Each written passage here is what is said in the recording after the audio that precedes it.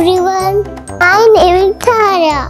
Monday, Tuesday, Wednesday, Thursday, Friday, Saturday,